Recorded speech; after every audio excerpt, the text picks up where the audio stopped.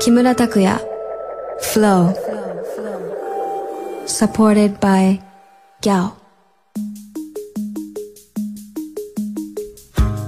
皆さんこんにちは。木村拓哉です。東京 FM をキーステーションに全国38局ネットでお送りする木村拓哉。 Flow supported by Gyao この番組は様々な方をゲストに迎えどう人生を flow してきたのかじっくりと伺っていきます。今月3月のゲストは俳優そしてミュージシャンとしても活躍するミッチーこと及川光弘さん、えー今回はミッチーがどんな少年時代を過ごしてきたのかじっくり聞いてみようと思います。お楽しみに。木村拓哉 Flow Supported by Gao 無料動画アプリ Gao の提供でお送りします。ミッチーうん。の今までのフローをちょっと確認したいんですけど、どうぞ。えー、1969年生まれ、はい。東京都出身のサソリ座の B 型。はい。サソリ座一緒だね。サソリ座一緒なんですよ。はいスコーピオンズなんですけど、はい僕らは。えー、子供の頃ってこれ、うん。どんなキッズだったんですか？どんなキッズと言われると、キザなキッズだった。キザ？キザなキッズ。これネタじゃないんだけど、僕、小学校、中学校の時のあだ名が、キザオ。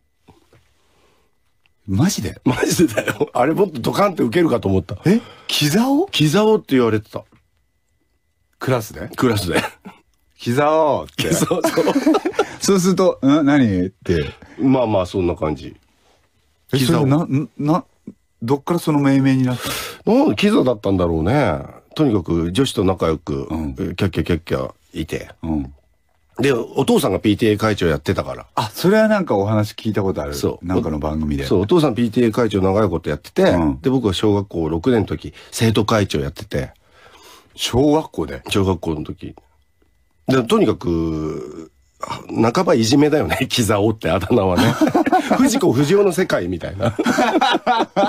出来すぎくんみたいなこ出来すぎと。くみたいな。だキザででしたね。うん。ええで、この資料に書いてあって超びっくりしたんですけど、うんそのキザオ時代に、うん。全国模試でうん。1位になってんですか、そうなんですよ。そうなんですよ。僕もびっくりしましたね。やっぱあの、中学受験だから、小学校5年生、6年生と進学塾に通っていて、うんで、そこでまあ、模試を受けるじゃないですか。ううんんそしたらね、驚いたことに、あの、日本で一番になっちゃったの。びっくりした。だからキザオって言ってる奴らが、うん。要は結果をこう、実際に出してると、うん。なんかこう、今まではこう、ちょっと嫌味で、そうそうそう。キザオって言ってたかもしんないけど、うんこの結果出されたら、リスペクトを込めたキザオになるよね。だんだんそうだよね。こう。なるでしょうん。なんていうの、き嫌われてた、いじめられてたっていう感じから、うんだんだんその、なんつうの、もう、キャラクターとして認められたっていうか。すこの時俺ね、偏差値81とかあったんだよね。マジで？マジで。マジで。まあ、もちろん中学受かって私立行ってからはだんだん勉強しなく、もうバンドとか始めて、うんもう成績は下がっていったんだけど、あ、高校、え、中学でバンド？も中学、そう、中2か中3くらいからバンド始めた。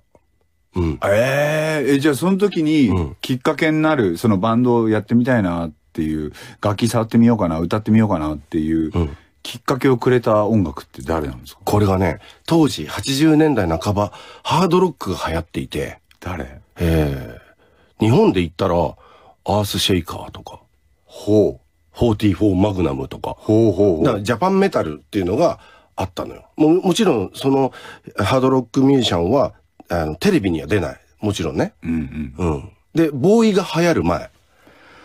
ああ。ボーイが流行るボーイブルーハーツが流行る前は、そうか。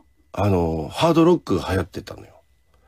だって洋楽はマイケル・ジャクソンとかとうとうあったけれども、うんうん洋楽のカバーなんてできる技術ないじゃない。うんうんうん。だから普通に8ビートだったね。へえ。うん。で、そのうちボーイが流行ってったりして。うん。うん。で、僕個人は、まあ、吉川浩司さんとかよく聞いてたんですけど、うんうんやっぱり憧れはマイケル・ジャクソン、そして何よりもプリンスってね。ああ。プリンスが出てきちゃったから、これはもう本当に人生変わっちゃったなっていう。あ、プリンスが変えてくれた。うん。やっぱその、マイケル・ジャクソンは当然ダンスがかっこいいし。いや、僕はだからマイケル・ジャクソンですそうだよね。もちろんそうですよ。それこそミュージックビデオ、PV っていうものを、もう彼、すべて作ってたじゃないですか。そう、お金かけてね。そうそうそうそう。だからそれを、すごい楽しみに見てて、そのやってる振り付け、うんマイケル・ジャクソンがどう動いてるのかっていうのを、うん。もう何回巻き戻し一時停止、再生一時停止っビデオでね。ていうえ VHS で VHS でガッチャンガッチャン。ガッチャンガッチャンやって、ね。やってましたね。やってた。あれいつだっけ？この間のグランメゾンの現場でもさ、なんかの折に、スリラーとか一緒に踊ってたよね、僕らね。俺踊ってたね。Beat It とか。 Beat It とか踊ってましたね。前室で。上手だった。結構みんなびっくりしてましたね。沢村さんが、んなんか入れない、そうももどかしさを、沢村さんがすごいやってましたね。たっくんそれさ、動体視力というか観察眼というかさ、目で見たものとかをすぐこう取り入れるよね。体の、えー神経に。なんていうの要は、えー上手なんだよ。模倣が。ああ、この間ビリヤードの先生にも言われた。こう見たものをそのままこう、ちゃんとさ、運動神経に伝えられる人だなと思うね。真似が上手。で僕結構趣味でんサーフィンとかんゴルフとかもやるんだけど、だからかもしんないけど、結構見てます映像を。そう。見たものをできるわけでしょ？その、僕の好きなサーファー、ジョエル・チューダーがいたら、彼のライディングをうん。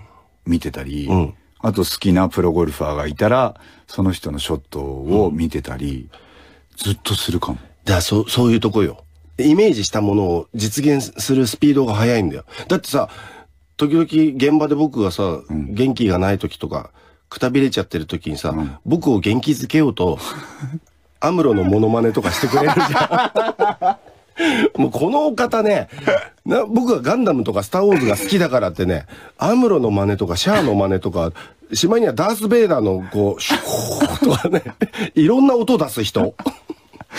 だって、本当に夜になってくると、もう疲れてきちゃってで、結構その話の、その、シャープいくつになった時に、うん。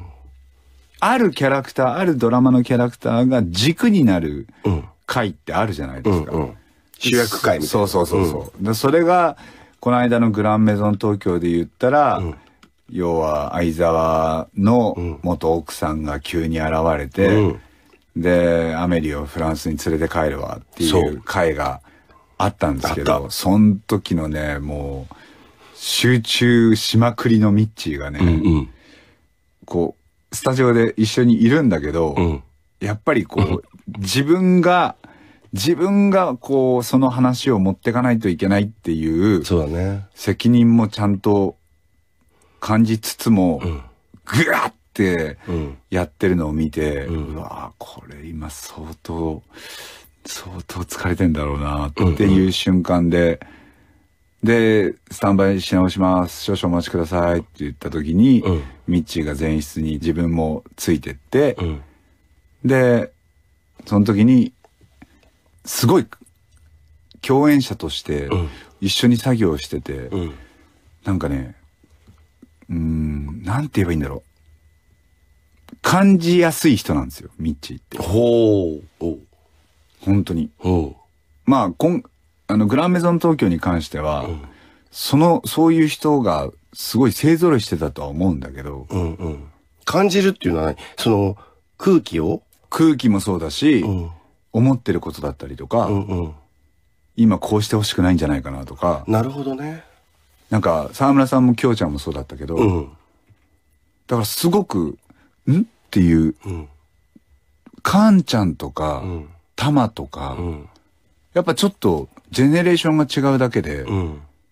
どっちなんだっていう、こなるほど。う、倍率を、あ要は今まで通常、その京ちゃんにしても沢村さんにしてもミッチーにしても、やっぱ同じジェネレーションでいてくれる人たちっていう、同じ、なんだろうな、うーん、まあ経験値もあり。経験値もそうだし、聴いてきた音楽とか。がうん。共通してたりとか、してる人たちって、なんかこう、倍率を上げなくても、うんうん。その人のことを感じられるっていう感じがするんだけど、言われてみるとそうだね。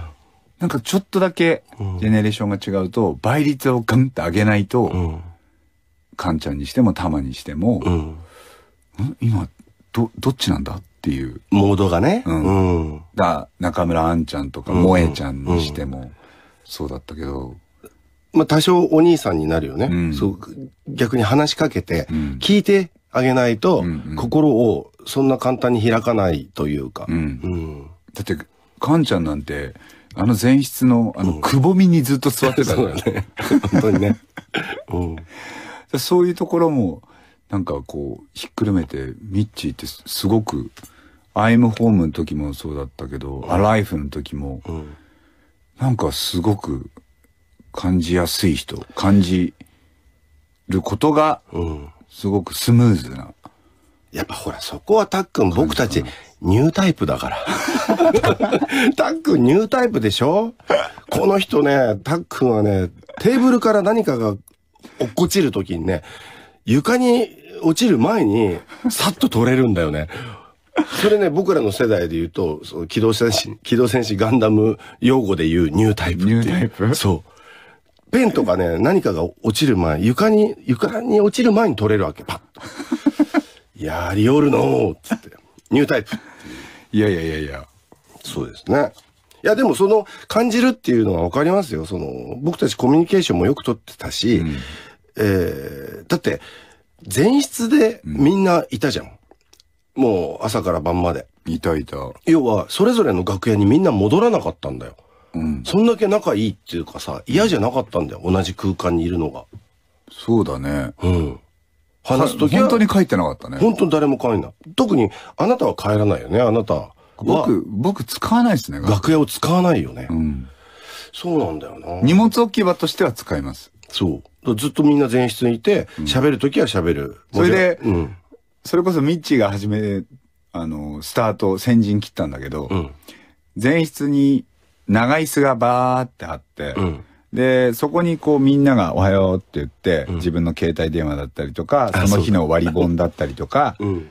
をこう置いて、おはようって言って、寝れた昨日とか言って、うんなんか普通の雑談が始まるんだけど、その携帯をちょっと自分が座るスペースの横に携帯を置くと、うん。ほんの少しなんだけど、うん要は場所を取ってしまうわけですよ。うん。うん。で、長椅子の長さは決まってるわけだし、うんうんその一つの椅子に座れる人がうん。多くて3人になるんですね。そうだね。なんだけど、その携帯とか小物うをん。置くスペースを、うん。その椅子の下に、ちょっと、これ、これ僕のねって言って、うん。で、ミッチが始めたんだけど、うん携帯と、えー、、割り本とか。割り本と、鍵とかね。その楽屋のう鍵。を、なんか、その辺にあった段ボールを、うん。ちっちゃな、ちっちゃめの段ボールを持ってきて、うんこれ僕のだからねって言って、その段ボールに小物を入れてで、自分が座る下にこソファーのね、下に。う置き出したんですよ。そそしたらこの横が開くんですよ。う。うん。いた分、詰められてもう一人座れるわけですよ。うんうん。で、それをね、みんな、こう、ミッチーがなんか、始めた？なんか面白いこと始めたぞってなって、うん。え、しまいに、えー僕も、うん。えー沢村さんも、うん。同じようにやってましたね。中村アンもね。中村アンもやってましたね。で、中村、中村アン。中村アンにはうん、お下がりをあげてたそう、段ボールのね。これ、今まで僕が使ってたやつ、使いなって言って。中村ってマジックで書いてる。そうそうそう。懐かしいっていうか、ついこの間のことですな。いや、本当そうですよ。あの打ち上げも盛り上がりましたな、しかし。盛り上がりましたね。遅くまで遅くまであなた。うん。いや、いつもそうですけど、うん。あの時、だって覚えてるよ。だって、酔っ払って、まあこれ公共の電波で言えるのかわからないけれども、とにかくあだ名をつけ始めたじゃない。ね。私が。うん。ああの、ミッチーマングローブとして。そう、み、あの、その、ちょっとお酒が入ってきて、うん。で、いや、もうさ、とかいう話になってきて、そしたらね、なんかね、いつの間にかね、いやもうね、今から、もう、私は、とか始まって、なぜかお姉キャラになってた。のなぜかお姉キャラになって、私はもう、今、今、この時点で、もうミッチーマングローブとして、もうあ扱ってもらって構わないから白い。始まって、そう。で、いろんな、ねいろんな人に対して、あだ名つけた始めて。まあまあ、僕のヒット作としては、玉森裕太くんに、うつむきくんっていうあだ名を うつむきくんってあだ名をつけた。お前どんだけ芝居でうつむいてんだよっていう話はまあ現場でもしてましたしてけど。たけどね。で、タックンにつけたのが、その時のタックンの 着てた衣装なのか、その、二次会のお店のソファーのムードなのか、タックンのことは伝説のホストって。伝説のホストってつけたんだよね。で、途中から、そう、長いから伝説って呼び始めて。おい、伝説。伝説おかわりは？っていう。そう、でも俺が、その、あだ名をいただいてちゃったもんだから、うんうんうん俺はちゃんとホストに徹さないといけないなと思って、誰かの飲み物がなくなってきたりとかすると、もう、玉とかを使って、あ、うつむき、ちょっと、持ってこいとか言って言って、もうめちゃくちゃな打ち上げになってましたよ。ああ、いや、盛り上がったね。打ち上げってあんな盛り上がるんだっけと思ったくらい盛り上がった。いや、でも、そう、あ、でも、うん。稀かもね。稀かもよああいうああいう盛り上がりは。うん。やっぱほら、前室で誰も帰らないくらいだから、本当にずっと、うんみんなね、楽しく飲んで、おしゃべりして、うん楽しかった。QIT。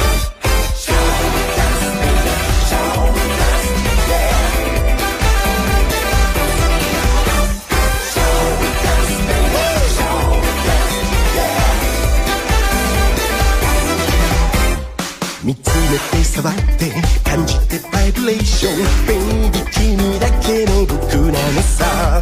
全世界ずっと来世でもきっと巡り合うさらにさ。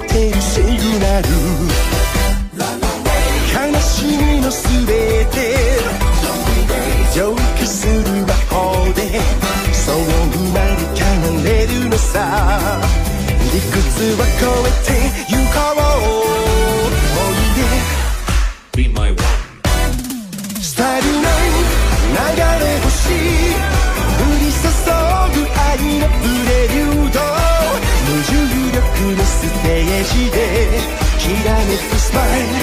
And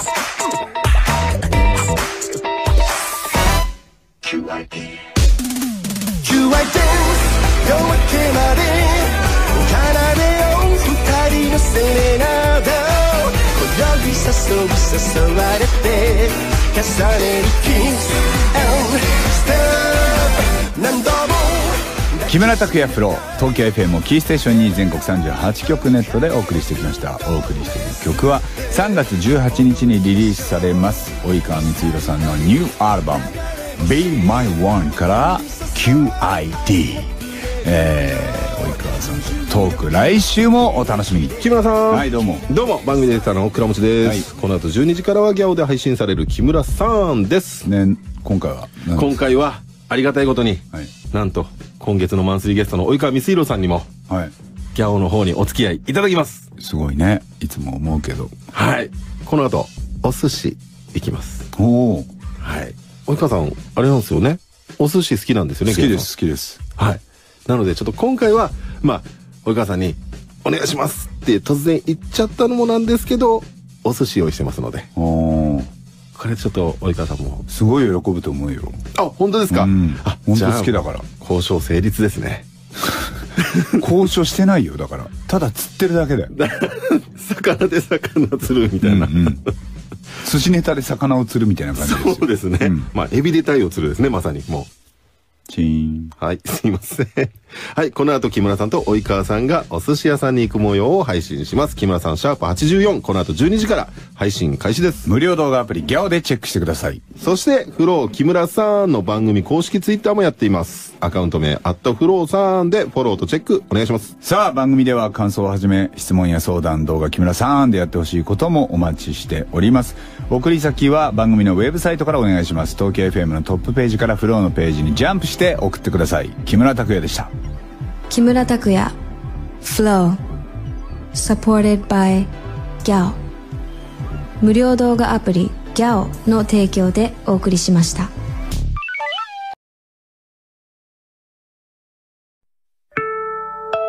木村拓哉。Flow. Supported by GAO. 皆さんこんにちは木村拓哉です。東京 FM キーステーションに全国38局ネットでお送りする木村拓哉 Flow supported by Gyao。この番組は様々な方をゲストに迎えどう人生を flow してきたのかじっくり伺っていきます。今月のゲストは3月18日にニューアルバム Be My One をリリースする俳優そしてミュージシャンのミッチーこと及川光博さん。最後までよろしく。木村拓哉 Flow Supported by GAO. 無料動画アプリ GAO の提供でお送りします。えーここでは、い。ちょっと、番組の、このフローに届いているリスナーからのメッセージに、はい。ミッチーにもお付き合いしていただこうと思います。OK 広島県のヨッコン、よこん。39歳女性、ありがとうございます。フランスの日本人の方が、んえー三つ星を獲得されましたね。あ、ニュースで見た。えーニュースを見るたびに小花夏樹が三つ星を獲得する続編が見たくなりました。えー木村さんはこちらのニュースご覧になられましたか？感想をぜひ聞いてみたいです。ちなみに私はグランメゾン東京ロスです。うん。寂しくて録画したドラマを見たり、ノベライズを読んだり、ほえーまたグランメゾン東京の人たちの姿が見れたらと願っていますっていうメール来てますけど。う。うん。えーこれは小林圭さん42歳ですね。はいえーオーナーシェフを務めるレストラン K が本場フランスのミシュランガイドで日本人として初三つ星タイムリーだよね。でしたね。うん。めちゃくちゃタイムリーですね。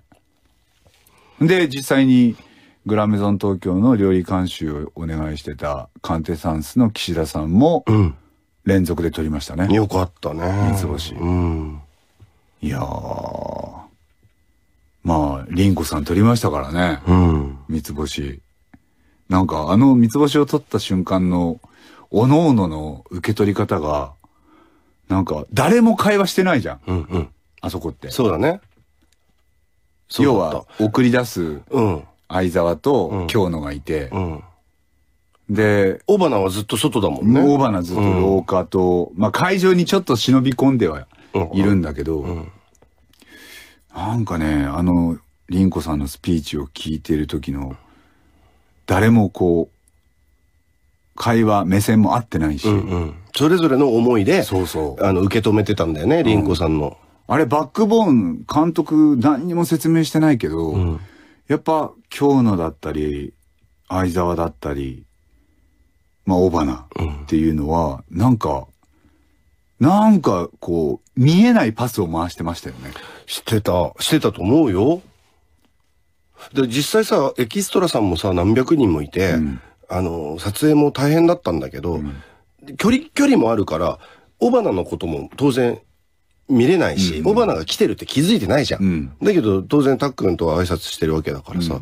でももう、そこはもうみんな、しっかり役に入り込んでたなと思う。ね。リアクションもそれぞれ違うし。そうそうそうそう。だってさ、リンコさんがさ、そのずっと長いさ、スピーチしてる間、あれ、もうカメラの台数は3つか4つあったと思うけど、それでも何テイクも撮ったじゃん。撮った撮った。あれね、自慢じゃないですけど、相沢亀人さんは、撮るたんびにちゃんと泣けたの。台本読んでてさ、三つ星取れることなんて分かってたのに、それでも泣けてくんのね。よかった。いや、あれは、だから、現場力というか、うん。もちろん、脚本力っていうのは、あるとは思うんだけど、うん。なんか、その脚本力に監督の演出力っていうものも加わって、実際に、各々のキャラクターを担ってた、それぞれの出演者が、うん。現場力でうん。出したよね。出したと思う。うん。そうね。いやいやいや、あれはダメですな。だから、カンパケっていうかさ、最終回を見る、見るとまたフィードバックしてきて、また泣けちゃうんだよね。あれですよ、ほら、兄さん。打ち上げでうん、全員で見たじゃん。最終回のああ、見た。カンパケを。見た見た。あれでさ、最後、あのーうまかったって、ほら、リンコさんと、ハグ、ハグ、うんリンコさんにうまかったって、うんうん。いやる前にさ、こう、む、音が一瞬消えて、うんあなたがこう、み、三つ星っていうシーンあったでしょあった。あれ、ずるい。その時さ、打ち上げ会場で、ぼあの、タックンの隣僕だったんですよ。要は、隣でずっと、あの、飲み食いしながら見てて。はい。あの時、俺抱きついちゃったもんね。タックンに。あの、三つ星ってあの、ポーズの時に。いや、すごいね。共演者でありながら、すごく作品のファンでいてくれるミッチーがいてくれて、あはい。あの、牛尾卓から単車を譲り受けて、んで、やるんだったらそれを、三つ星って叫ばれた後に、んサイドミラーでこう、うん親父のことを見て、んで、単車にまがまたがったまんま、こう、まあ、振り返りもせず、そう、後ろ姿で後ろ姿でこう、バンっつって、手を挙げる三ね。つ星をこう、掲げるカットがあったんですけど、うん。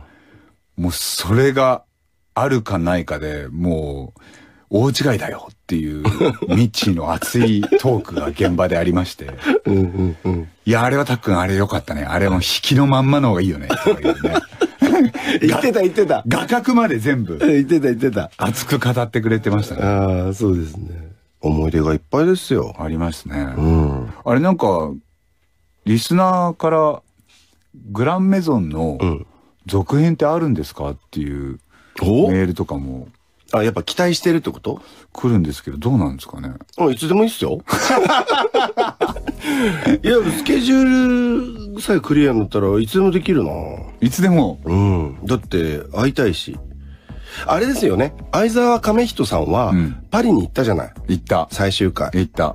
三つ星取って、家族の元に家族の戻った元行った。うんまああれ、パリで暮らさなくても、いいんじゃないかなって考えますよね。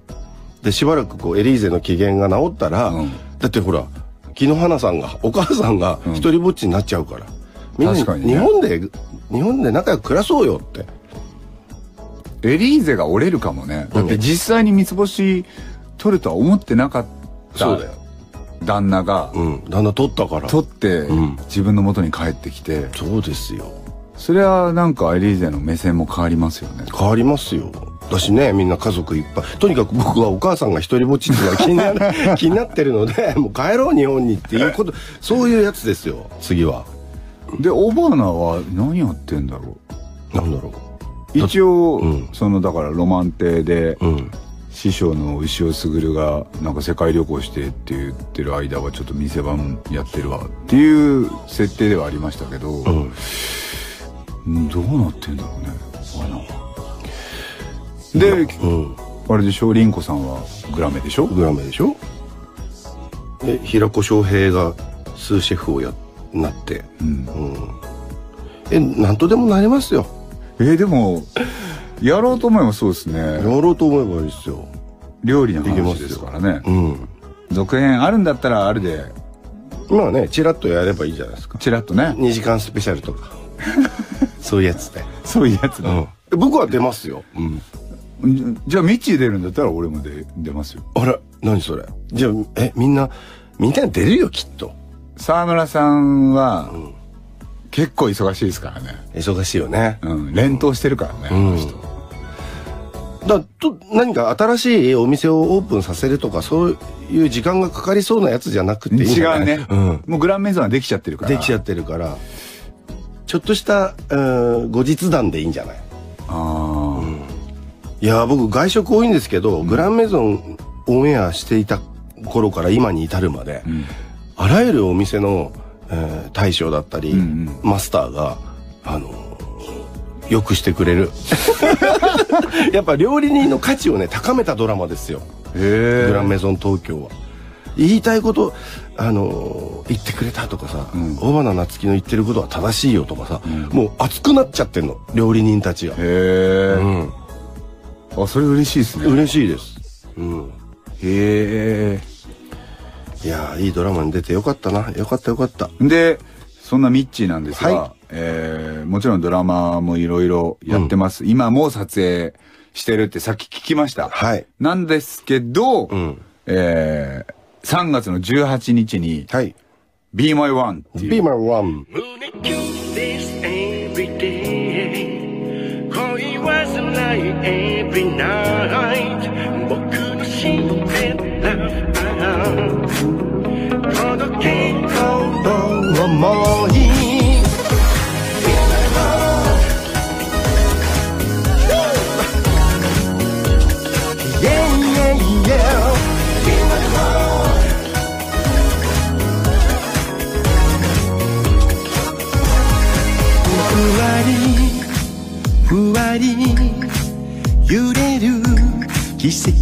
跡のクリーミースマイルフェアリー君はたがために輝く。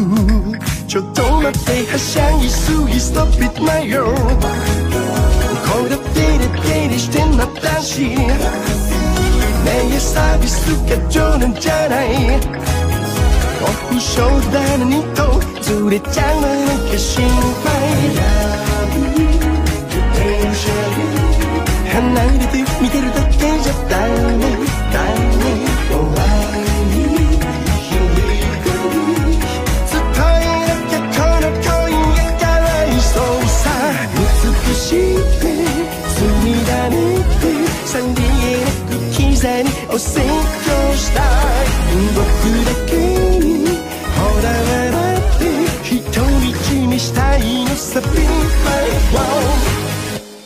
ューアルバム。これ書き下ろし新曲。そうだね。だからすごい。ぶっちゃけて言うと、ん。グランメゾン東京の撮影中に詩と曲を書いてた。休みの日だよ。作詞と作曲を休みの日にしてたそう。結構だから忙しかった去年末いや作詞作曲だけじゃなくて、レコーディングとかも、グラメの間にやってたでしょ。やってたでも。スケジュール早くちょうだいよってさスタッフに。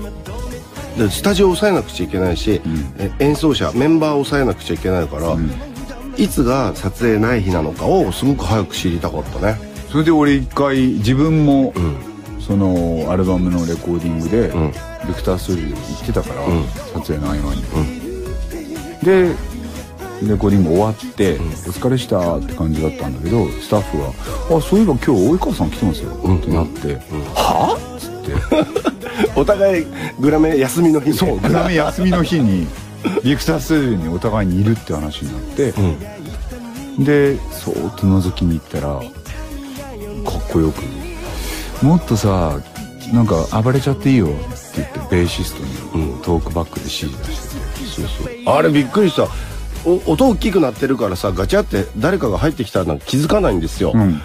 だけどずっと僕はさ プレイヤーに指示出してたらさす後ろからさバンってこう両肩を叩かれるようにこう立ってて。うわーびっくりしたーっつって。もうだってそのスタジオにいたあのドラマーやスタッフみんながさ「木村さん入ってきたぞおい」ってなって全員急にカチコチに緊張し始めて あれはもう完璧邪魔されましたな。すいませんでした。楽しかった。びっくりした。そうそう。でその、えーコンセプトにもうん。かなりこだわるミッチーなんですが、今回はどんなアルバムに、今回ね踊れますよ。おいや基本僕はファンクミュージックが好きだしまあダンサブルなものが好き、で今回ねあれですよあのもうサンプリングミュージックと言ってしまえばそのままなんですけど、80年代とか90年代の音をわざとサンプリングで出して、ん。それで生演奏っぽくしてるというトラックメイキングをしてみました。えだからなかなかね懐かしくも新しい音になってるんですよね。それも楽しいですね。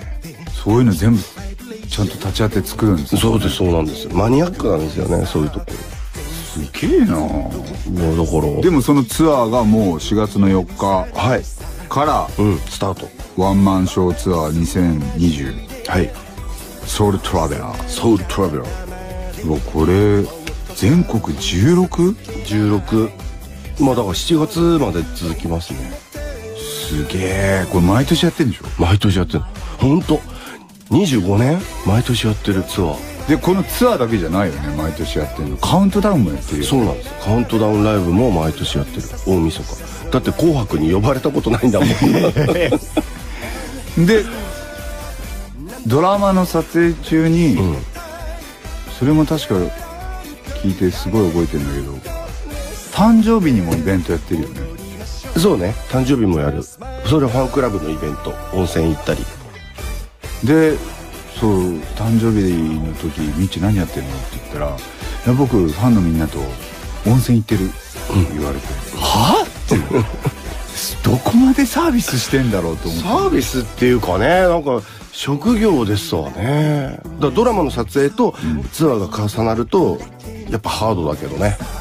でも物を作ること自体は絶対楽しいじゃん、でしかもお金もいただいちゃって本当に申し訳ないっていうくらいの気持ちで完全燃焼するっていうことですよね。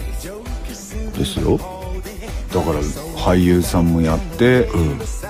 で自分のホームグラウンドとしてはミュージシャンっていうかそうだね。まあアーティストとして、うん。作詞作曲してるってすごいな。いやいやいや。殺球に殺球に。作詞作曲。ある。もうそんな風に生きてきましたね。すげえな、うんまあでも全曲じゃないけどね。いやもうこれはちゃんと背筋をこう いやそんな。正して僕はミッチーのアルバムを聴かせてもらおうと思います。踊ってくれればいいです絶望的ロンリネス開けてもくれても仕事さ。働いて働いて。君のグッズ握りしめる。睡眠時間も削ってレンジでチンの食事ばかり。お願いほんと神様。ご褒美をくれだから Shake me darling Shake me darling darling 君のライブ最高なんだ。全力で歌って踊れ。涙隠して燃えるパッション上がるテンションギラギラ。この日のために生きてきたのさ。たぎる。募る。僕の愛を君に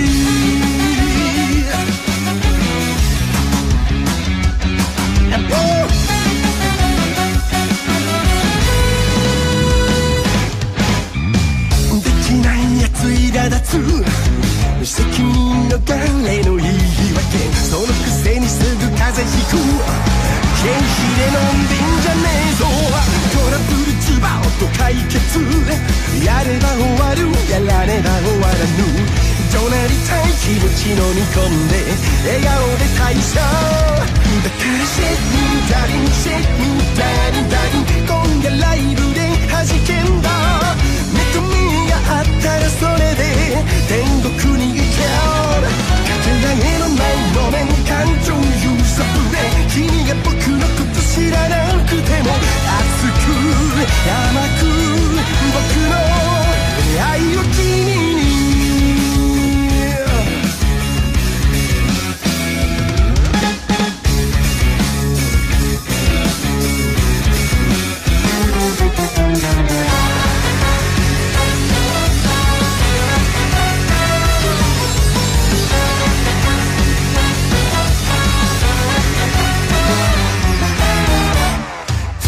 と解決やれば終わるやられば終わらぬツアや T シャツ着替えるぜ。走り地下鉄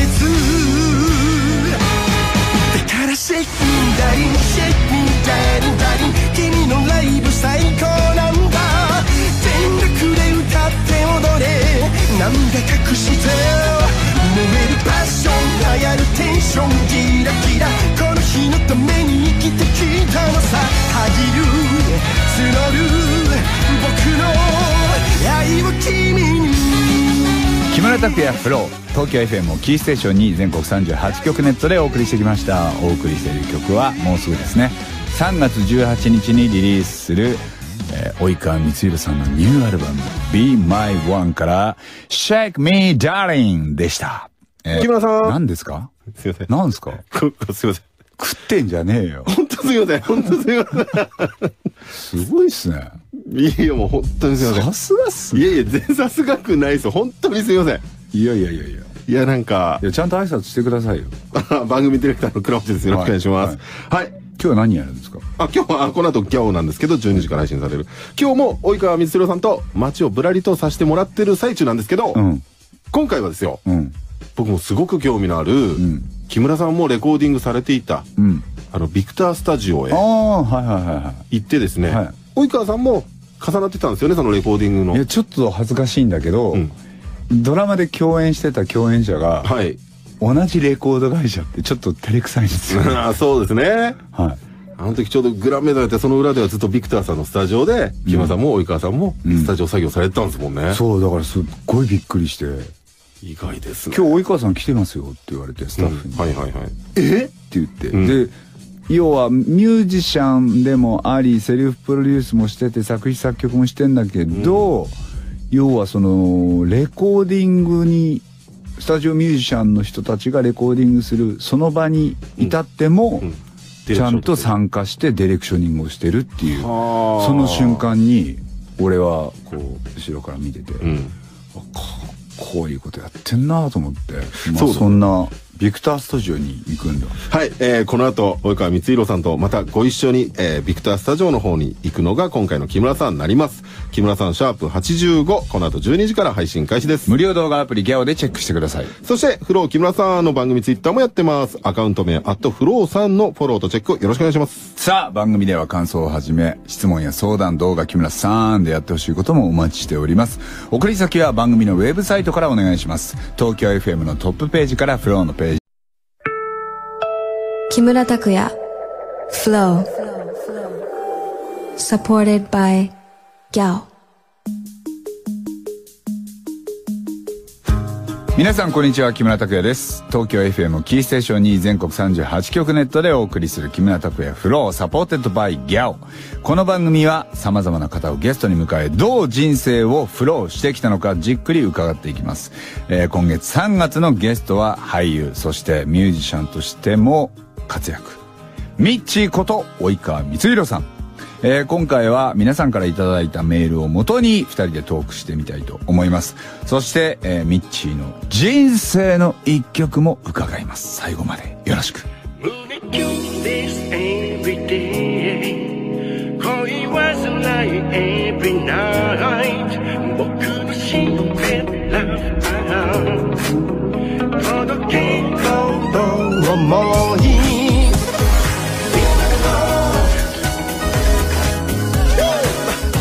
木村拓哉。Flow. Supported by Gao. 無料動画アプリ Gao の提供でお送りします。ふわりふわり揺れる奇跡のクリーミースマイルフェアリー。君はたがために輝く。ちょっと待ってはしゃぎすぎ Stop it my girl これデレデレしてんな男子ねえサービスが冗談じゃないオフショルダーのニットずれちゃうのなんか心配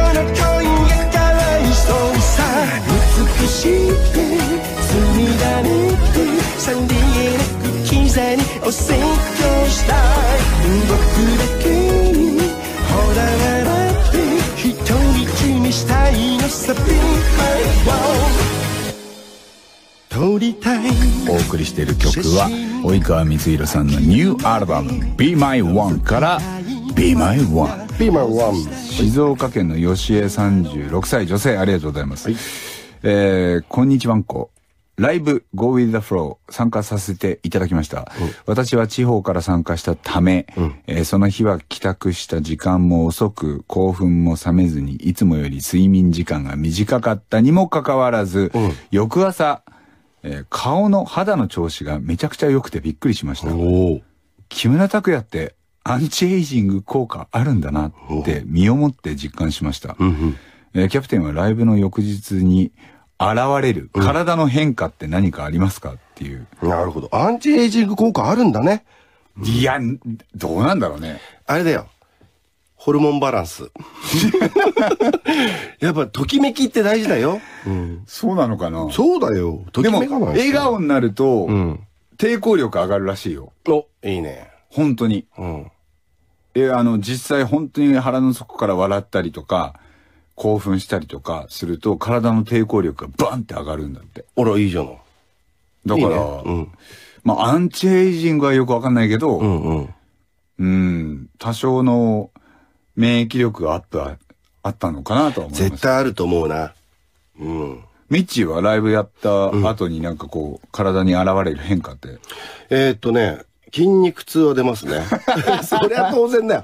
当然筋肉痛は出ますよ。筋肉痛。うんこれは僕も出ます。それは出ますよ。出ます。じゃあ、針に行くね。だから要は、筋肉痛をなるべく早く、えーなくすために、針とか整体に行く。東京戻ってきてから。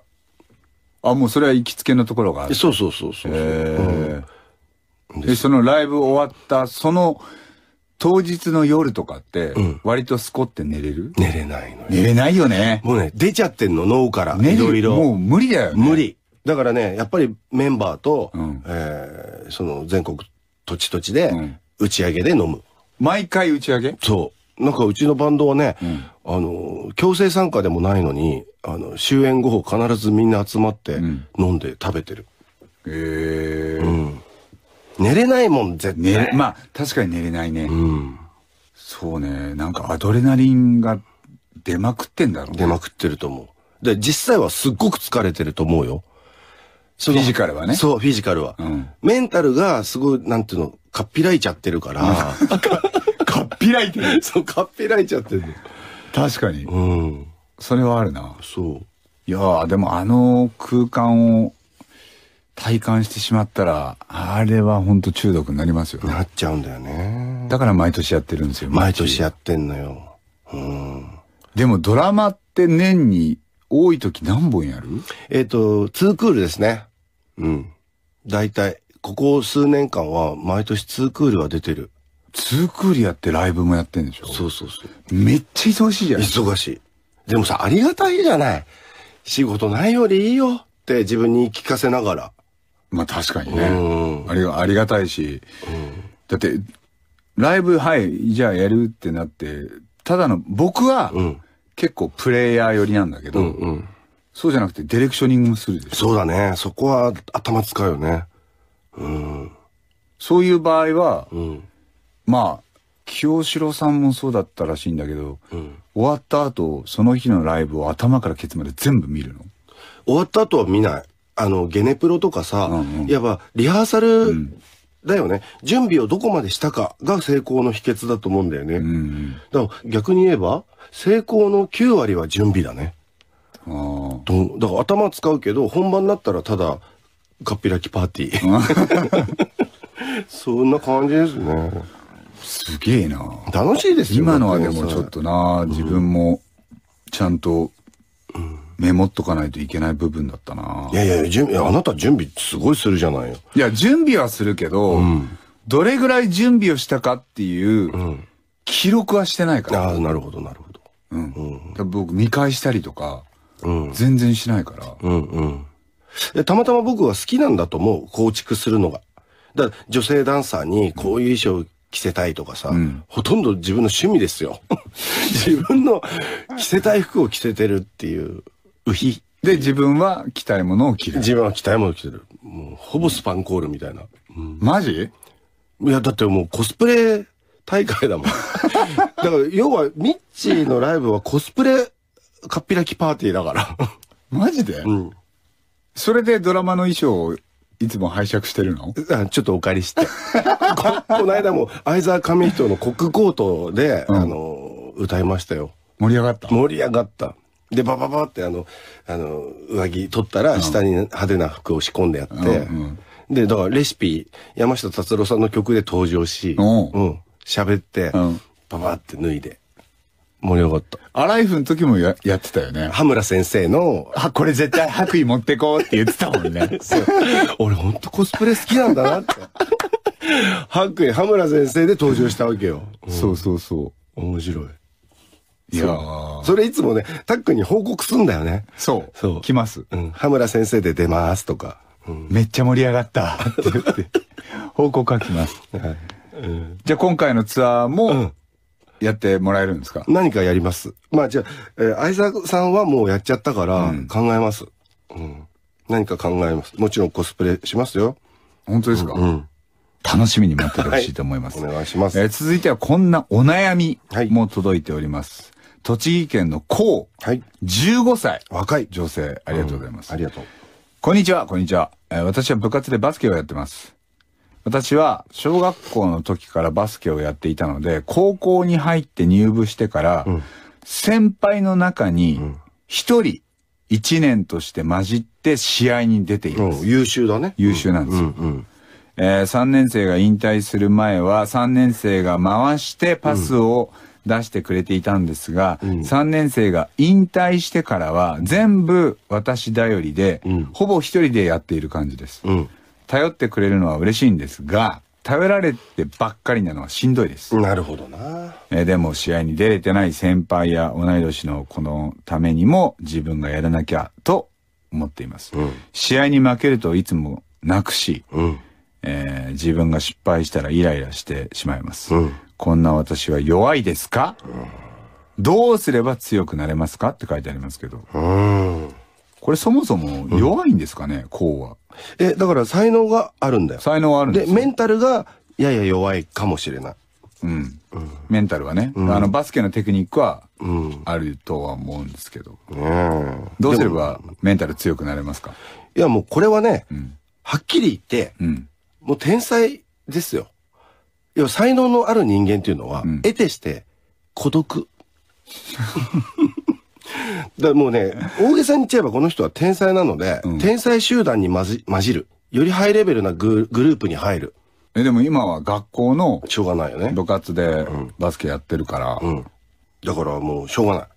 みんなが同じレベルではないという現実を、んあの、たった一人、あの、ちゃんと認識してですね、しょうがない。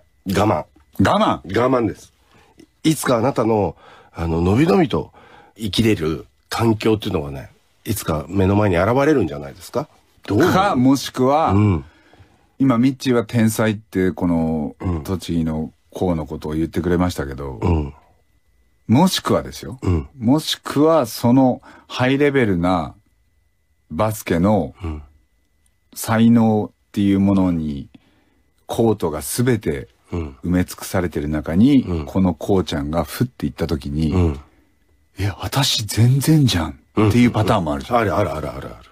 今学校の中で、もう、登るとこないぐらいのところでずっとバスケやってる。うん。でもこれでバスケやるしかないんだよなって思っうん。てたら、うん。なんか実はそれ霧がかかった状態で、うん。その霧がふわって晴れた瞬間に、全然、要は他のうん。高校だったりとか、同じ世代15歳うん。にしては、もっと身長に恵まれていたりとか、ね。もっと身体能力に長けてるうん。女の子がうん。いて、え、何？うん。それでできてるつもり？っていう、いいじゃない、いいじゃなんい。なかこうさ、ハイレベル選手が周りに実はブワンっている可能性もありますよね。ありますよ。だから、こうちゃんは、えー、栃木から出てみる。い やいやいやいやいや、そうじゃないややと栃木脱出説っていうのは、え、でもさ、せっかくだから、その才能を大きくね、伸ばしてほしいよね。開花させてほしい。うん、だから今は学校のバスケ部で、うんその、今ミッチーが我慢っていう言葉をうん。言ってくれたけど、んそのシチュエーションは一つのシチュエーションでとして受け入れて全力でやるべきだと思うし、うん。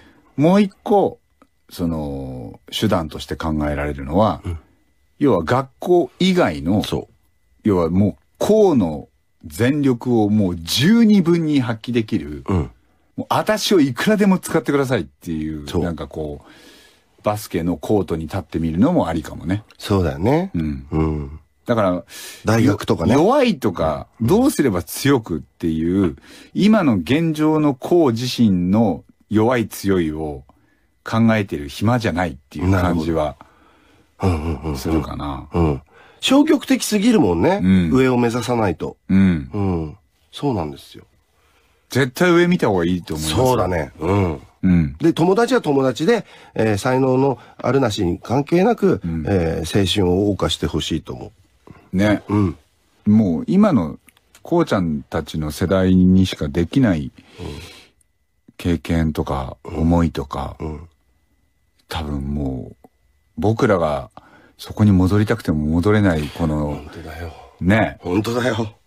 世代からするとそうだよ15歳の可能性って半端ないからね。本当だよ。大事に生きてね。だって僕とかたっくんあと20年したら老後が来るんだよ。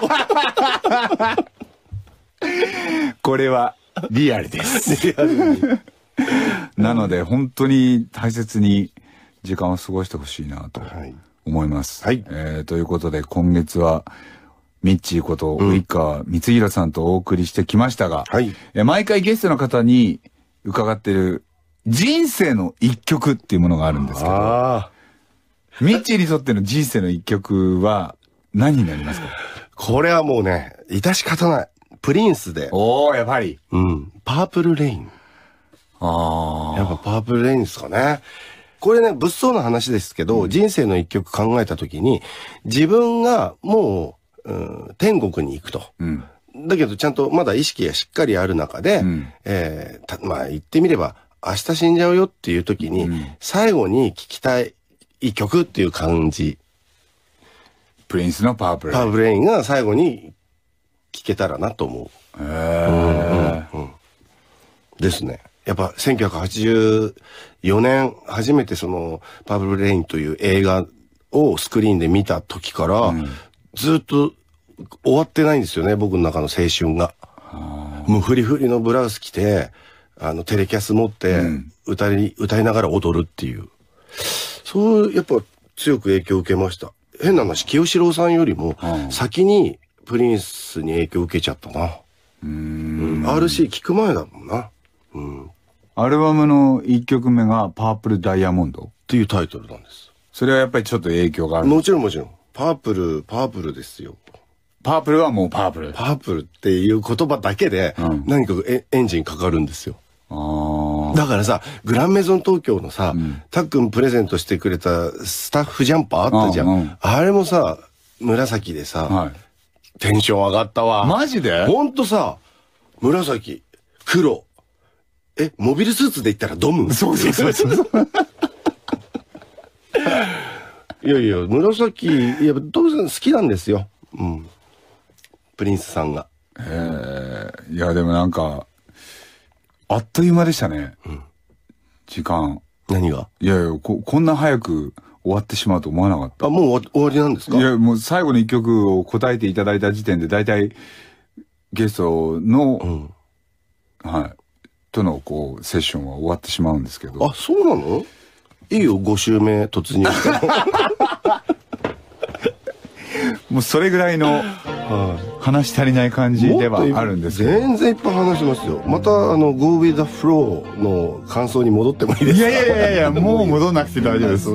えー、木村拓哉フロア3月のゲストは、及川光弘さんでした。ありがとうございました。とっても楽しかったです。